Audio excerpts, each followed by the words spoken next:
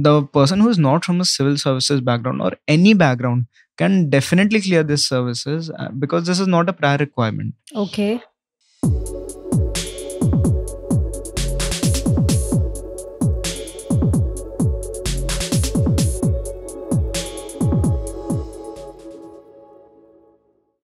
Hello, friends. So today we have Ayush, ranked 723. At the age of 25 years, he is now civil servant with MTech background and geography optional. So let's welcome Ayush. Hello, Ayush. How are you? I'm good, ma'am. Thank you so much. Okay. So Ayush, I like to ask few questions. That uh, what motivated you during entire UPSC preparation? Ma'am, first thing was my purpose. My purpose uh, has always been to do something uh, that is that makes a difference not only in the society not only in the country to the people around me secondly is my father because he's also from a civil services background Mm-hmm. so he also was a leading figure in my journey Mm-hmm. and also my family support because they always said that i had to do something different uh, i had something in me that i need to put forward out so this was my motivation behind Motivation factor. Okay, as you have said that your father is civil servant. So do you believe that coming from background or you know you have a parents who was civil servant and he might have guided you did it help you to clear this exam and if it yes then what is your suggestions to those who are not that fortunate to have that you know these backgrounds? So how they can and they should prepare what are the strategies they should incorporate into their preparation? Uh, definitely ma'am. Uh, being from a civil services background uh, the quality of the job the kind of work that we had to do so that was a motivating factor behind me Mhm. and uh, look like knowing the job before joining it was uh, a very good experience for me. And ma'am the person who is not from a civil services background or any background can definitely clear this services uh, because this is not a prior requirement. Okay. So they need to have a purpose as i said because having that purpose motivates you to throughout this whole 3 4 years journey because Mhm. keeping that mental balance in mind and keeping that honesty of purpose is very important being truthful to yourself Mhm. so being from any background having the right planning right resources Mm. utilizing uh, the internet effectively for the Mm. preparation and the resources is uh, the key to this success. All right. So Ayush, I often tell to my aspirants and the viewers about it that it is really very important to have correct mindset, strong mindset. And today's in contemporary scenario where you have lot many teachers available, plethora of content available. So we know that you know being an IS officer or civil services is a uh, is a national hobby of our youth right everybody wants to be and it's fine to be but as i said that we have lot of materials available lot of guidance available i think that now it has become a challenge. In fact i would say it's now a social problem where competition has increased and now to have secure jobs or like you know to have decent or respected jobs such as like you know IS officer it's not really easy to achieve lot of hard work and lot of strategies are involved. And then if you are not coming from background such as like you know the way you have come or if you do not have proper guidance it's definitely challenging for those aspirants. Now in this scenario i believe that aspirants have also become a kind of vulnerable to various sectors to various things. Now in this in this situation how aspirants can choose their right strategies or guidance where everything is available to them. You know it's like it's now uh, i believe that in the name of guidance often we see that how different teachers or coaching or different you know sources lure them that okay do this or attempt this or do answer writing from us or do coaching from us uh, from us or buy something and then you know we can guide you or study from us. Because now as i've said that lot of free materials are also available on internet. Now in this point it is again difficult to choose your right sources. How to study is definitely was important but now i think what not to study is equally very important so how students can manage these dilemmas Uh, ma'am, as you rightly said, there are a lot of materials available, lot of guidance available. The important aspect should be planning. Planning beforehand, before starting this preparation, how we need to go about it. First, the key is the syllabus. We should always be sticking to the syllabus okay. and studying the materials that revolve around the syllabus. Because as you rightly said there are a lot of materials available. So if uh, we have studied a particular topic and we should be confident that we have studied it effectively to write a quality means answer. Okay. So if we have that in mind Hmm. we should not go for any other material apart from it and we should just stick to that material and Mhm. we should revise it thoroughly so that we can uh, replicate it in the exam Mhm. and regarding guidance ma'am i believe that uh, like many people do not have the right kind of guidance so uh, either they can trust the online resources but that is also very tricky because Mhm. there are a lot of things or they can go for uh, any uh, guidance in the coaching institute Mhm. if they feel that Mhm. uh, it helps them but uh, we should not go astray we should Yes. not get deflected from our path and we should always focus on that planning which we had uh, done prior to the prior to starting our preparation we should not deflect right or left to that line so ultimately it's a self study even if you are in you know enroll in any coaching or you are taking mentor thing it is your hard work and the kind of quality answer you're producing on your d-day that is really important what do you think on this definitely ma'am because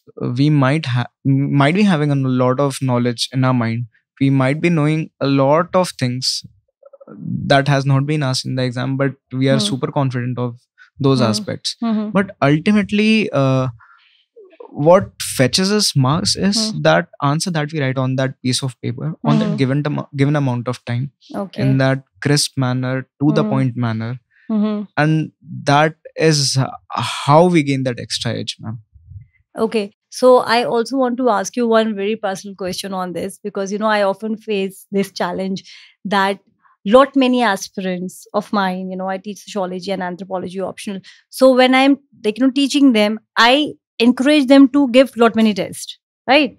So for instance, I complete my test, I complete my topic, then I'll ask them to give a test. So I have around 105 tests or so. But I've realized that uh, the moment I have completed it and they are doing their test, they lose their confidence because they are expecting that okay now we have studied this topic and we know the pyq because the first test it's on the basis of pyq so that they can understand the pattern of upsc but while they're answering they're writing it they think that okay you know often many of them they do not work hard on writing quality of answers. They think that okay we have learned it and now we are producing the good answers. And they uh, at that very stage they start comparing their answers with toppers answers.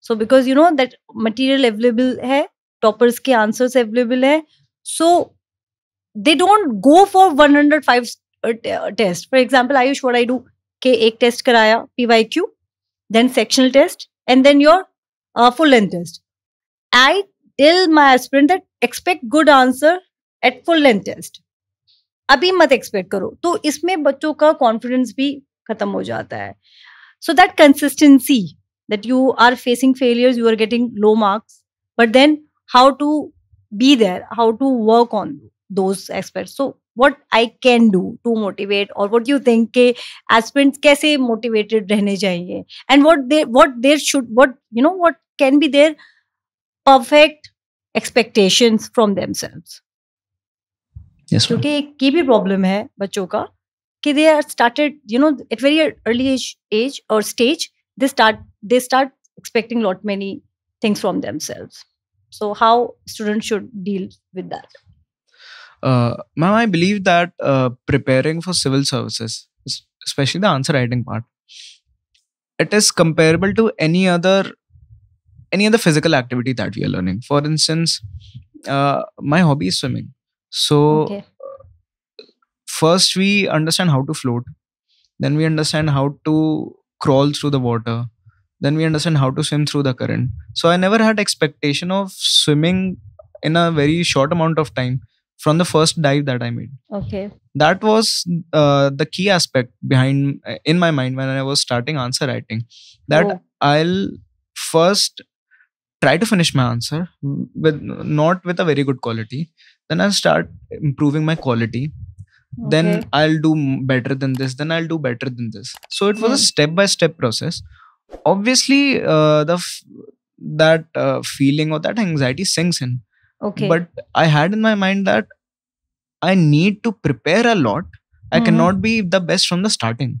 Mhm, I need to go step by step, but I need to fulfill those step by step goals mhm. when I'm preparing. But in the end, I had that long term goal that I would be needing to uh, f- write a good answer with Hmm. with in within the given amount of time with the quality okay so how long uh, you have prepared for your answer writing what were what was your hours or what was your strategy uh, ma'am, my strategy was uh, at least finishing uh, previous 10 years uh, questions okay before i gave my first prelims ma'am. okay okay so that uh, if i clear my prelims in the Mhm. first attempt so uh, i would be getting 3 months Mhm, so my whole preparation was actually during my college okay so i used to get a very less amount of time Mhm, so i had i would be having three months for the mains preparation so i need to finish a good amount of uh, Mhm. answers uh, before my prelims mhm. so that was uh, my Mhm. strategy in my mind before So, okay, in answer writing, do you follow any particular structure? Like, you know, in introduction, you can write this, or in conclusion. For instance, I teach my aspirants that introduction and conclusion has to be ready with you. It you have to be mechanical. You know, you understand the demand of the question and then make your introduction and your conclusion. And body one and body two, try to incorporate flowcharts or uh, some sort of tables, you know, some diagrams. So try to be creative. So did you also do that? definitely ma'am because uh, we need to be mechanical when the time is so uh, limited in which we have to write answers Hmm. so following a certain fixed aspect for instance if there's a question on uh, gs2 Okay. So, uh, highlighting the constitutional provisions or highlighting some recent Supreme Court judgments Hmm. that becomes important. And uh, any recent development on that particular topic can be used in the introduction as well as conclusion. Hmm.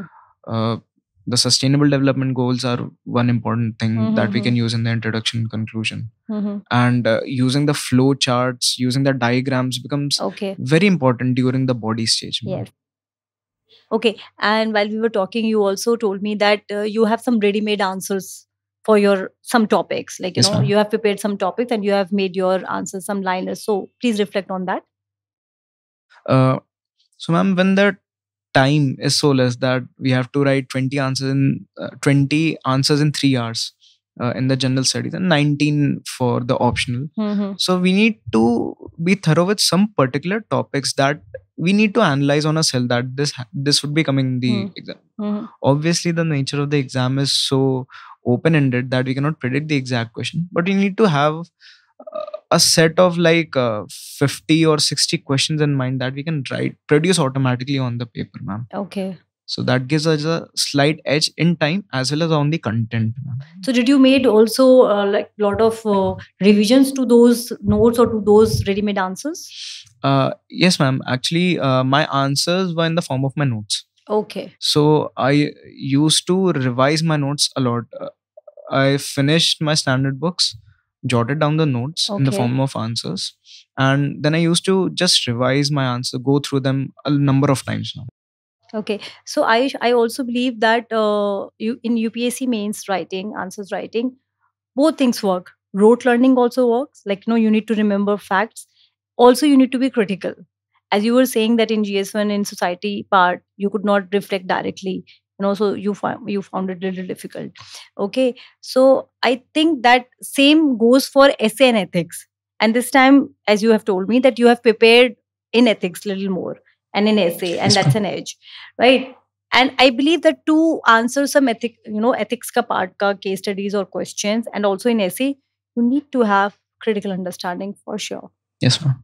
and that can come only if you have conceptual clarity right and that conceptual clarity you need to have and then you need to produce in your own words because you have a words budgeting you have a word ka ek uh, limit right? For example if we are uh, studying any thinkers let's just say karl marx or emile durkheim so marx okay? So we should know that what karl marx is talking about.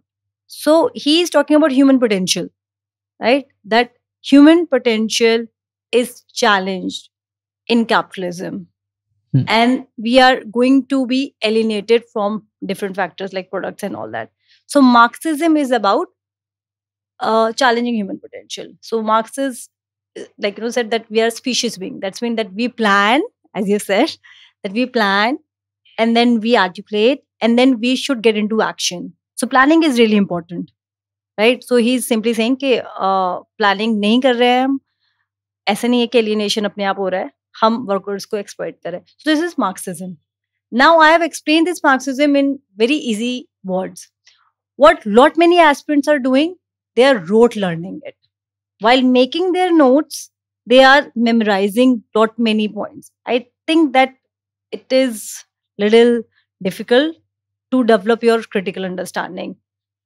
so what you will suggest that how we can have this conceptual clarity you know students can have this conceptual clarity and they should they should come out of this that you know that everything they should they can learn so lot many things has to be there in their brain Yes, ma'am. i believe that what is your opinion on this uh, ma'am, as you right, rightly said, critical uh, thinking uh, becomes a very important part of writing the answers or uh, during the uh, interview stage. And developing that critical thinking takes a lot of time. okay So we need we can't be critical on the- we can't be critical without any particular reasons. Okay. We need to be ready with reasons and those reasons should be based on some great thinkers. Yes. Some great thinkers or some great philosophers which are actually verified theory.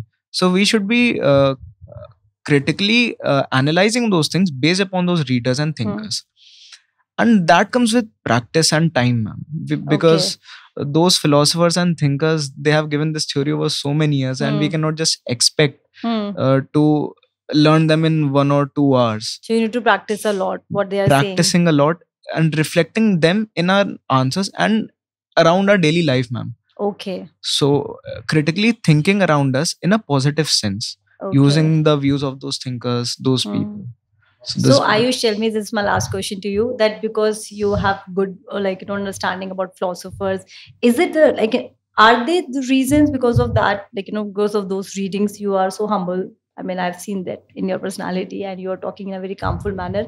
And how being uh, humble and you know maintaining that calmness in you uh, help you in your upsc journey?